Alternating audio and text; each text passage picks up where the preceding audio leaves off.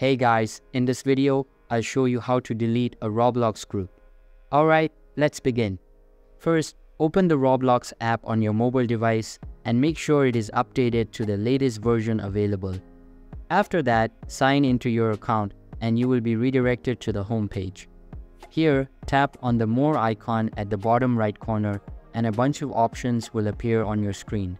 Next, you need to access the groups feature and select the target group that you want to delete from this page. Once you are in the group, tap on the three dots icon at the top right corner and select configure group from the menu. Now, you will see several options. Simply select members from the top menu and all of the current members will be displayed. Here, you just need to locate every member in the group and exile them. This means removing all members from the group.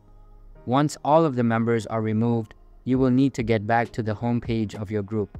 After that, tap on the three dots icon again and select Leave Group from the menu. By leaving the group, you will effectively delete it since there are no remaining members. So that's basically how you can delete a Roblox group. And that's it for this video. If you find this helpful, consider subscribing and giving this a big thumbs up. Thanks.